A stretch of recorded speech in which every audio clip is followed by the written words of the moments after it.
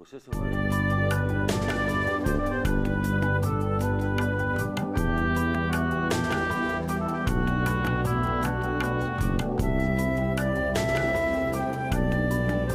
Si te parece, Juan, vamos a hablar.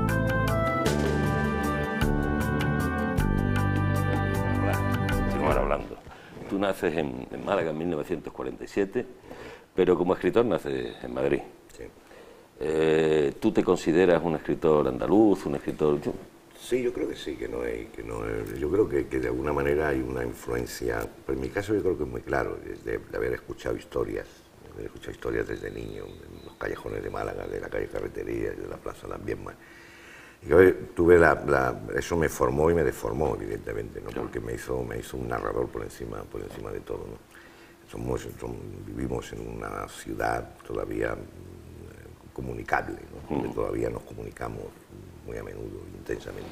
Yo creo que eso me, como te dijo, me- como te digo, como te dije, me formó y me deformó también. Claro. Claro, tú has escrito novelas, si no recuerdo mal, Cuentos, ensayos. sí, ensayos, cuentos, Cuentos. guiones. Y estoy en una obra de teatro. como, como los cantadores, toco todos todos los palos, pero me muevo, me muevo casi mejor, creo, donde me estoy más cómodo es en la novela. Y hay un libro de viajes, si no recuerdo Ah, sí, también, sí, sí. Que yo lo incluyo, imposible. el Amazonas, no, lo incluyo como libro de reportajes, Ah. es digamos, de, de- de- de- como ya no puedo, no puedo trabajar ya en ningún periódico, en ninguna revista, ya están todas, o revistas no hay. Y los periodistas ahora son medio relaciones públicas, en fin, ya eso, los más viejos saben de lo que hablo, ¿no? Y es, es una vuelta otra vez al periodismo, como una vieja amante, al cual la echan de menos algunas noches. Claro que sí.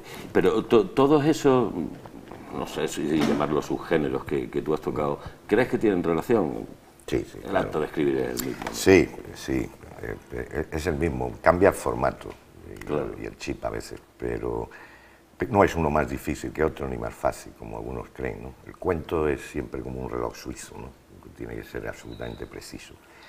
La novela también, pero la novela tiene una dimensión diferente, es un sistema, un vasto sistema complejo, donde cada elemento tiene que cumplir un papel y una función determinada. Yo, mm, la novela que hago es una especie de novela, o yo la defino, o se ha definido como lo que se llama novela dramatizada, quiere decir que donde los personajes actúan. Yo no, el, narrador, el autor, el narrador, no debe decir o dice muy poco de, de lo que hacen los personajes, de lo que sienten. Yo dejo que actúen y que sea el lector el que, el que se dé cuenta que está enamorado, que está triste, que está envidioso, que, que está decaído, etcétera, ¿no? Donde la participación del narrador es mínima. La- yo intento que sea la- lo mínimo posible. Sin embargo, Juan, poesía no has escrito, ¿verdad? No, no, no. Jamás. Y te lo pregunto porque en tu, en tu obra en prosa, eh, yo creo que tiene especial importancia la imagen visual.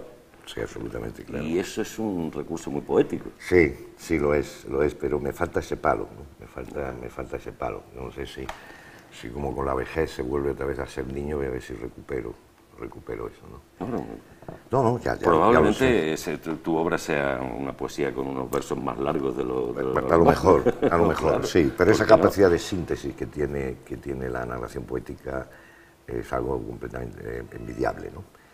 Eh, aunque hay también, evidentemente, una síntesis. Siempre la, pregunta de un escritor es qué es lo importante y qué no es lo importante, qué es lo que saco y, qué función va a cumplir. la- quitar, quitar todo lo que no cumpla ninguna función, a veces la hojarasca puede ser muy bella, pero hay que, pero hay que prescindir de ella, ¿no? hay que prescindir de esa hojarasca para ir al núcleo, a lo, a lo fundamental. Y ahí está la gran duda, ¿qué es lo fundamental? ¿no? Claro. No solamente en la escritura, sino en la vida, que tampoco vamos a viejos y seguimos sin saberlo. ¿no? Exactamente. Y la crítica, la llamada crítica especializada, Juan dice que tú eres un autor de novela negra o de novela urbana, europea, que no se sabe exactamente, yo no sé lo que es. Pero tú eh, te dejas clasificar así. No, Bueno, sí, eh, eh, bueno, no hay más remedio. No, hay más remedio, ¿no? Es como si se te ponte cómodo, ¿no? Y disfruta. Hay, hay muchos tipos de críticos, realmente. Hay un, hay un crítico que, que es el que forma parte del sistema de ventas de las editoriales, ¿no? Que, hay- que no hay que hacer ni puñetero caso, ¿no? Que cambian de periódico y escriben de, de- de distinta manera, ¿no? Luego hay una crítica académica que es bastante interesante, porque uno, uno necesita lectores, y sobre todo lectores inteligentes, que le digan algo que, que- no digan me ha gustado, simplemente, o digan pues no me ha gustado. esa búsqueda de alguien que sea capaz de traducir, de traducir el pentagrama, el pentagrama que hay, que hay en, cualquier novela, es lo que uno busca desesperadamente. ¿no? antes, en, los que yo oía por los callejones de Málaga, los contadores de sucesos, los narradores orales, a mí me fascinaba de niño, de niño eso, esos tenían a, los interlocutores, a los espectadores, los tenía delante. Iban cambiando según veía la, pues si había muchachas o había viejos o había jóvenes, entonces iban cambiando el relato. Siempre me ha maravillado, esto lo he escuchado luego en Marruecos, lo he escuchado en Brasil, en los pueblos brasileños, en Colombia, en Nicaragua, y me sigue fascinando la narración oral, me, fascina esa capacidad de, de, de cherezada, que es lo que todos los escritores deben, debemos tener, lo que nunca debe faltar. ¿no? Tener la capacidad de fascinar al sultán para que no te corte el cuello. Y el cuello es dejarte de leer o, aburrir. Así que todos somos Cherezada. Entonces, según eso, ¿cuáles serían las señas de identidad, por llamarlas de alguna manera, de, tu obra? Las señas de identidad, eh, verás, quizás, es, quizás sea la de, la, de, la de yo procuro darle voz a los que apenas se tienen voz a los sin voz, a los peatones de la historia, a, las pobres gentes, para, hacer un, juego de palabras con la fantástica novela de, Dostoyevsky, eh, a los que salen en la literatura contemporánea como, como comparsa, ¿no? Eh, que están en los orígenes de la novela, de la novela moderna, en el, final del siglo XVIII, principio del XIX, un Fiel de Foe. Y es, es eh, y, al mismo tiempo, y al mismo tiempo eh, contar las historias que a mí me, hubiera gustado leer. Claro, eh, eh, efectivamente, eso, eso, con eso también me estás contestando a cuál, es el, papel que tú crees que debe tener el escritor, ¿no? Tú has citado a Dostoyevsky. Pero bueno, es obligatorio, creo que citar a Sartre cuando, cuando no, que no que me quiero hacer pedante, pero en que es la literatura, a mí me parece un libro bastante importante. Yo creo que es, es si hay alguna función si hay alguna función, es la de, poner en cuestión el discurso único, lo que se llamaba en aquella época el discurso del padre, el discurso oficial. Los discursos oficiales, el discurso del poder, son camufladores falsos por definición. Y entonces ese papel sería dar una visión de la, de la realidad, de la naturaleza de las relaciones humanas, la propia. Y eso establece un discurso contrario y que el lector compara. Pero yo parto de un convencimiento y es que cada de varios convencimientos, es que cada libro es una propuesta de mirada al mundo, a la literatura, al amor, al sexo, a la soledad. y, desde esa propuesta es también un, es un, es un discurso, está compuesto de varios discursos, y debe ser, y debe ser una alternativa a los discursos oficiales, al boletín oficial del Estado sobre todo y al, sistema métrico decimal, si nos empeñamos. Sí, yo creo que eso lo haces a la perfección. Recuerdo cuando vi, cuando leí y vi Días Contados, a mí me maravillaba, primero, que fuese una historia de terroristas. Y segundo, que hubiese una maravillosa historia de amor dentro de esa historia. Alguien incluso escribió sobre Romeo y Julieta, haciendo un parangón entre lo que tú todavía es la historia de amor que tú planteabas allí y, el clásico. Las universales historias de amor, ¿no? Eh, es imposible ¿no? hablar de algo sin que esté el amor, todos facetas, el sexo, o la soledad, o la falta de, o la, turbulencia de. ¿no? Yo lo que planteé en Días Contados era, era como una lectura nueva a lo que se llamaba la, la movida, ¿no? La, mm. movida de, la movida de Madrid, que a mí me tocó de, de golpe porque yo vivo en, en Marasaña, donde se generó aquella movida que fue al acabar la dictadura la dictadura eh, hubo una explosión, se abrieron los corsés y los, y los, los ríos y los pantanos y se desbordó de, se desbordó de agua el, el, mundo y sobre todo aquel barrio y Madrid. ¿no? Y después España, yo creo que fue una cosa como en cadena, ¿no? no por mimetismo, sino simplemente porque se rompieron, se rompieron. Y esto lo vivió nuestra generación, los que tenemos ahora entre 55 y 65 años. La gente se desnudaba en las calles, eh, no se podía caminar, aparecieron fenómenos nuevos, la, la, nueva novela policial, la utilización de, de géneros... Eh, que eran considerados como subgéneros, el cómic, eh, digamos, la, novela policial, y repito. Y todo eso generó un movimiento cultural que yo creo que se está viviendo todavía. Yo soy de la primera generación de escritores postfranquistas, en el sentido de que gestionamos y generamos nuestras obras ya después de Franco muerto, evidentemente. Eh, se, tarda, se tarda tiempo. Yo empecé a, darme cuenta de lo que quería hacer porque me costó mucho trabajo ¿no? descubrir mi voz. ¿no? Copiaba, quería hacerme listo, que quería que todo el mundo se diera cuenta que era muy culto, que, que era capaz de escribir en varios mm, puntos de vista en cada capítulo. Eran tediosas y espantosas las novelas que hacía que las conservo todavía, hasta que me di cuenta cuál era mi voz siendo, siendo periodista. Me, me dio la herramienta precisa, que es el trabajo diario, continuo, en un periódico que tú conoces perfectamente, Juan. Y ese me dio ese instrumento que es lo más valioso que tenemos los que nos dedicamos a esto. Me di cuenta que yo podía escribir siempre que supiera el final de la historia. Entonces, como en periodismo, sobre todo en el reportaje, que es lo que más me gusta, el periodismo, tú sabes cómo, cómo la historia completa, entonces puedes, puedes elaborar.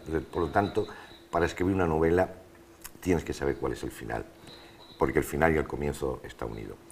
Y eso en los años 76-77 empecé a darme cuenta cuando era periodista, periodista cómo se modificaba, a veces queriendo, a veces sin querer, la, mayor, a veces porque había intereses, empieza a modificarse la realidad, la información empieza a tergiversarse, se está creando un determinado el discurso oficial, que es el que, el que, ahora, el que ahora reina, mm. el que ahora está, pero que surge al final de la década de los 70, al final de los 70, el comienzo de los 80, y entonces me planteé hacer una especie de episodios nacionales, si se me permite esta, esta broma, o, que era con el personaje de Antonio Carpintero, utilizando materiales de derribo de la llamada novela negra. No la novela policíaca, porque yo todavía quizás no haya hecho ninguna novela policíaca, no las hacer, no descubrir un crimen, no es contar, es contar eh, la realidad como uno, como uno, como uno lo ve. Esa propuesta de mirada que yo aludía, que aludía antes. Y entonces yo llevo siete novelas con este personaje que es un,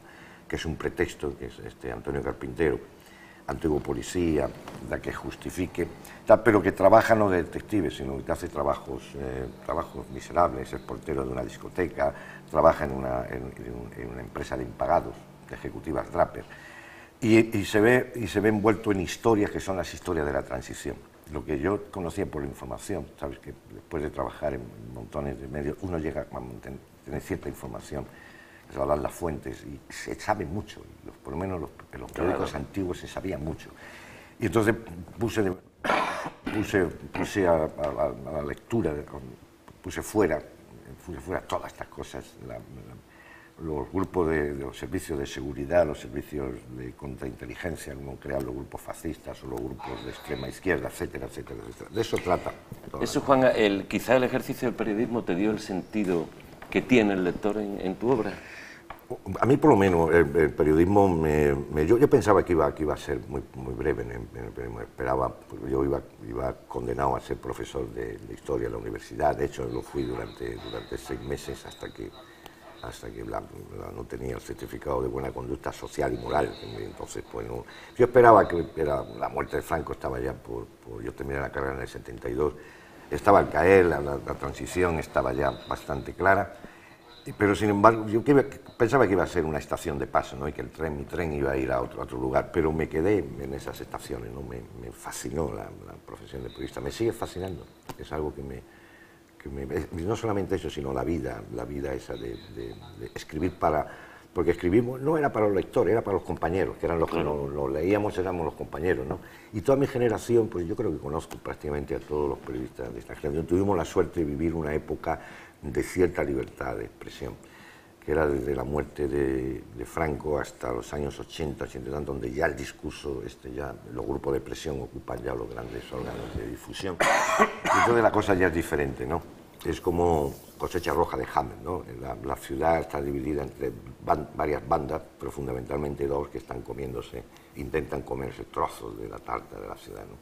Y dije, esto es perfecto para una... Y fíjate, en, el año 76, yo, como periodista, descubro, descubro precisamente que los grupos fascistas, grupos fascistas están manejados por los servicios de inteligencia y por una corporación financiera importante. ¿no? Está el viejo franquismo ahí metido y está manejando esos hilos. Y no solamente eso, sino también los grupos de, un grupo de extrema izquierda conocido. yo trabajé durante más de tres meses, era muy joven, entonces no tenía ni 30 años. estaba a punto de cumplir 30 años. La aventura de infiltrarme, el periodismo era una aventura, era una aventura vital. También me infiltré, me, jugué durante mucho tiempo y no había, no había manera de, publicar eso. No, Pepe Oneto me decía, esto cuesta, esto nos va a costar unas multas de, de, mil millones, nos van a poner bombas, que solamente las pusieron por otra parte, ¿no? Entonces eso lo guardé, lo guardé en la carpeta, guardé en una carpeta y como yo seguía dándole vueltas que de qué escribo, cómo escribo, esas cosas del joven escritor, hasta que me di cuenta que eso no hay que, eso no hay que pensarlo, sino que hay que dejar fluya, no es como si dices, si haces el amor con el Kama Sutra en la mano.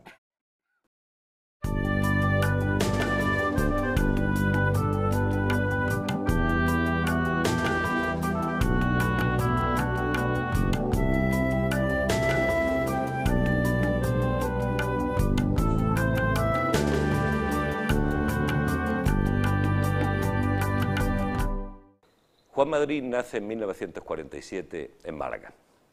Eh, se traslada a Salamanca y allí obtiene la licenciatura en Historia. En 1973 comienza a trabajar en distintas redacciones de periódicos y ha sido colaborador de los principales eh, diarios españoles. Cambio 16, era una revista, Diario 16, El Mundo, El País, eh, Juan tiene publicado aproximadamente 47 libros, entre novelas, ensayos y eh, algún libro de viajes o reportaje de viajes. También es suficientemente conocida su labor en el campo de la cinematografía.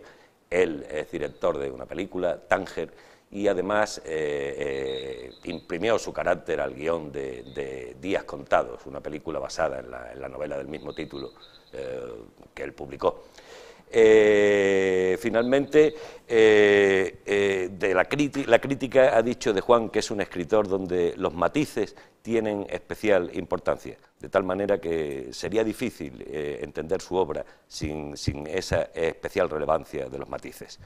Juan, antes hablábamos de que tus personajes sí tienen cara.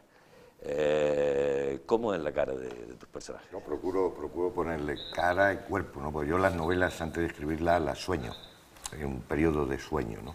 Y hasta que no tengo claro el aspecto, la cara, los tics, cómo son los personajes y lo que hacen y lo que quieren hacer, no, no empiezo a escribir. Digamos que, que, mi escritura tiene esas...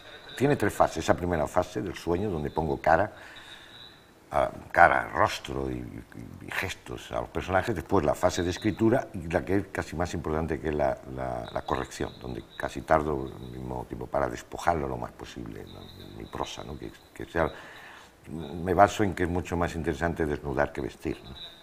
Y hay, hay un, un, día en que viste por primera vez la cara de, de ese personaje tan, tan magnífico de Tony Romano. Antonio Carpintero. No, eh, hice una vez un guion para un cómic, eh, para un cómic donde salía Antonio Campintero allí durante la transición, en la final de los 70, y me lo pusieron con bigote. El, dibujante me lo puso con bigote, un hombre de cara ancha, y me lo puso con bigote. Mm, y yo ya lo veo así, lo veo así. Un, tipo, con, un tipo con bigote, un tipo anticuado, que tiene casi los mismos años que tengo yo, porque vamos creciendo juntos. ¿no? Carpintero además tiene una serie de valores que hoy me parece que brillan por su esencia, es decir, es un tipo que tiene vergüenza, que tiene honestidad, que tiene lealtad. Eh, ¿Esos también son tus valores? Bueno, no, mi madre diría que sí, ¿no? Mi madre diría que sí, aunque a veces me dice que soy un poco jesuita, que miento mucho, en fin. Pero, porque es malagueña mi madre, ¿no? Pero, pero eh, yo lo que me gustaría es que mi escritura uniera una lo, ético con lo estético, porque no se puede, no se puede desunir eso. ¿no? Eh, es que realmente escribir como, como yo lo siento, como yo lo vomito. ¿no? no escribir con arreglo al mercado, con arreglo a lo que me dicen los críticos, que es lo más peligroso siempre, ¿no? cuando alguien te intenta escribir o a la moda, etcétera, etcétera, etcétera. Escribir como uno, como uno cree que tiene que, que escribir. Es decir, los valores que, que, sudan o que trasudan de, mis libros que sean auténticos, sean malos, bueno, como sea, pero sean los que yo realmente siento. ¿no? Y esa es una lucha con, con uno mismo, ¿no? Pues, y eso te mantiene quizás despierto y un poco atento ante... Yo no sé si soy... Escribiendo soy honesto. Pero ese, esa conjunción entre ética y estética, que a mí me parece imprescindible en un escritor, es probablemente lo que te, lo que te, lo que te permite mantenerte entre exactamente en la frontera entre el bien y el mal. Es una frontera estrecha la del bien y el mal, y a veces se va cruzando de un lado para otro, porque a veces los límites son, los límites son difusos. Lo que sí me mantengo es em, eh, en, esta, en esta felicidad extraña que tengo, que es poder eh, hacer lo que siempre soñé que iba a hacer, que era dedicarme a escribir. ¿no? Es una instalación en la felicidad que es jodida, ¿no? pero hay, hay, me queda otra felicidad, que es escribir una novela que merezca la pena, ¿no? que todavía no la he escrito.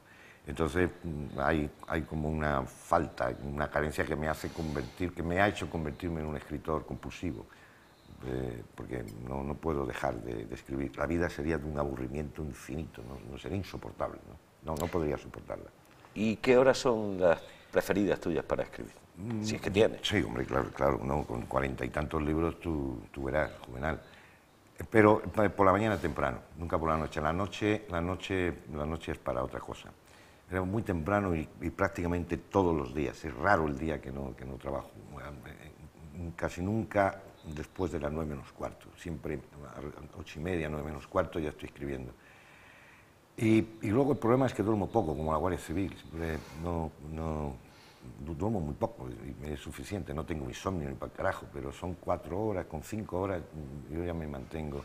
Y salgo todos los jodidos días, pues si no me, me, vuelvo loco, ¿no? Salgo todos los días porque, como dijo Gamero, el actor, que dice, como fuera de casa no se está hecho tan bien como fuera de casa, ¿no?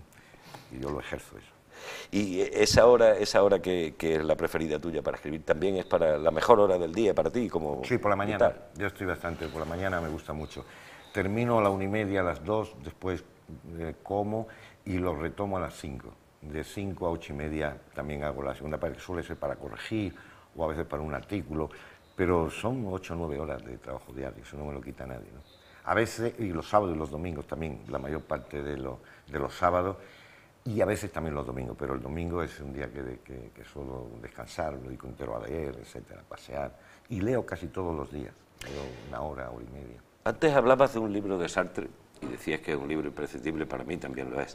Eh, eh, eh, si tuvieras que elegir un libro, un libro que verdaderamente, no te voy a decir eso de que te llevaría a una isla, porque sería un ismo seguramente, ¿no? No, yo me llevaría un manual para fabricar barcos.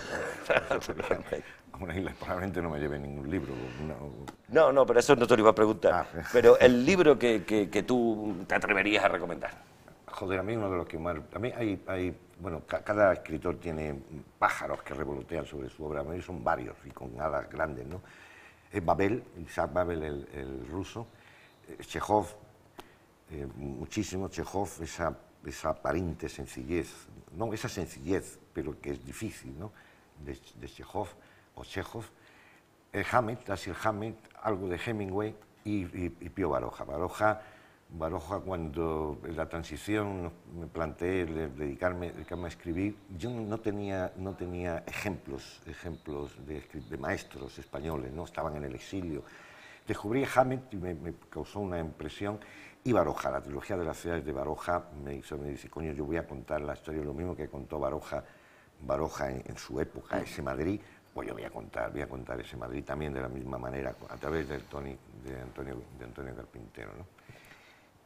Ya has dicho que escribes todos los días, o sea que por tanto ahora, ahora estás escribiendo, evidentemente. Sí, Claro, la, yo te digo como la Guardia Civil, ¿no? que está siempre, siempre vigilante. No, siempre, hay, hay, un entrenamiento, hay una musculatura que, que, un, que, un, escritor veterano como yo tiene ya siempre, siempre de observación, de gesto. Y a los alumnos a veces les, hago eso como la policía, como la Guardia Civil, esto de describa, tapa los ojos, describa cómo va el contrario, o cómo es la habitación, cuántas personas hay, cómo van vestidas, etcétera, etcétera. Eso es innato y, uno, y uno, lo hace. Y es nada más que llegar a viejo y, no, no, controlar el oficio, porque eso es, imposible. Cuando era joven pensaba que era fácil. Cuando era botones en la editorial, donde tengo 12 libros, yo decía, esto está chupado, lo que hace esta gente, esto lo hago yo con la gorra. Y, así gano más pasta que los 1.500 que, que gano de, de botones. Eh, y ahora que soy viejo me doy cuenta que cada vez sé menos, que cada vez cuesta más trabajo. Soy más exigente en los libros, cada vez más.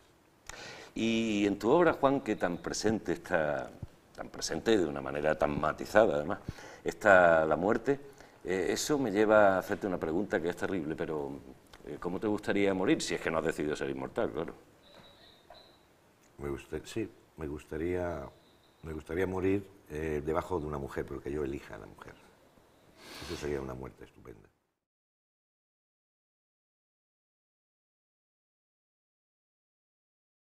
Voy, voy a leer un trozo de un, de un cuento que se llama La matanza en Puerto Urraco, que está basado en un hecho real.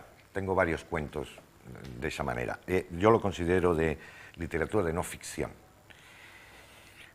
Y voy a comenzar a leer. Primero fue el ruido, un ruido sordo y persistente dentro de la cabeza, un ruido que no dejaba dormir, que acompañaba siempre, que no cesaba de sonar, un ruido que duraba ya desde que en 1984 muriera carbonizada, dando alaridos, la anciana de 90 años Isabel Izquierdo, madre de la camada Izquierdo, allá en Puerto Urraco, una pequeña aldea extremeña acostada en la falda de un monte desnudo.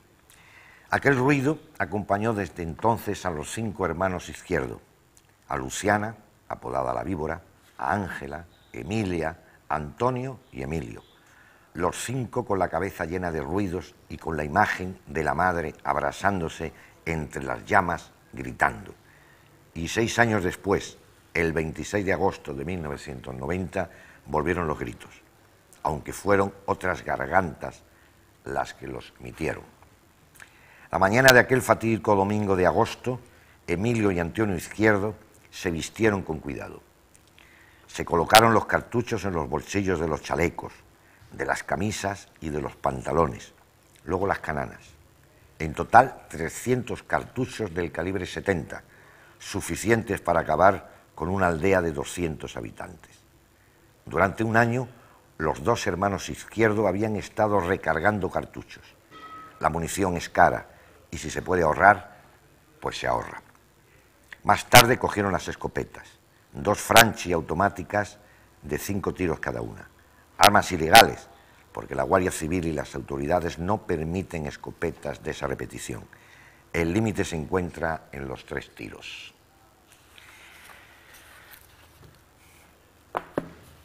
Voy a, leer ahora un trozo de una de mis novelas del personaje Antonio Carpintero, Tony Romano, que se llama Cuentas Pendientes. Y comienzo. Yo era de ese barrio.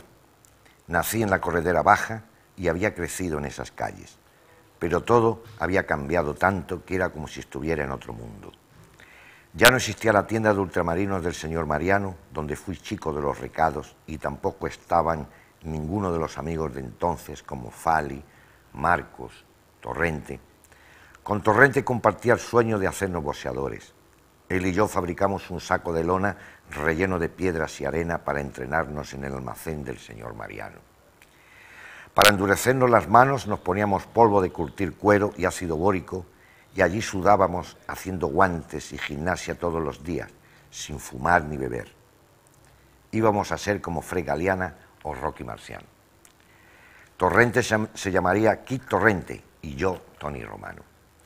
Ahora, 30 años después, tenía que aceptar que no me había dejado demasiado, que no me había alejado demasiado de mi barrio ni de aquellos sueños estaba peor que antes porque mis sueños se habían desvanecido.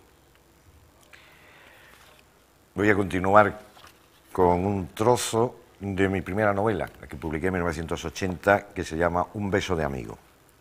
Comienzo. Se levantó y caminó hasta una de las puertas del salón. Salió al poco tiempo y se sentó de nuevo en el sofá. A través de la ventana la noche cubría la calle. Ella miró el cuarto y encendió uno de sus cigarrillos.